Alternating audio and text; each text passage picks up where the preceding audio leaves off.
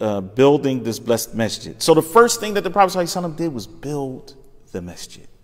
And I, I want this also to, to, again, we need to take lessons from the seerah of the Prophet ﷺ. Anytime uh, Muslims get to a particular area, wherever that may be, they need to establish a place to pray together.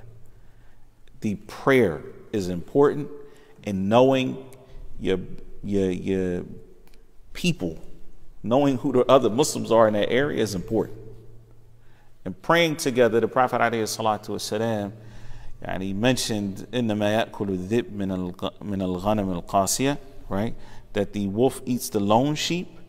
And so a person who just constantly, constantly prays by themselves and is never a jama'ah and they're never with the rest of the Muslims, then they're going to be the target of shaitan before the jama'ah.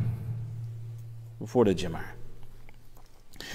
He says this demonstrates the obligation that the masjid has, which should be, which it should the primary concern of Muslims. Yani, uh, al-muhim, that the masjid should be the primary concern of any Muslim.